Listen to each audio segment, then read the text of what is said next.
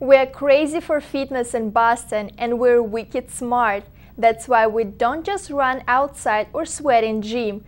We think out about how we work out. Gym rats have faith in science. They brag they can efficiently target individual muscles. Runners are the exercise naturalists. They improvise with the weather and have zen moments while on the trail. But personal trainer Christine McGill insists that your body needs still come before your philosophy. It depends on, again, what your fitness goals are.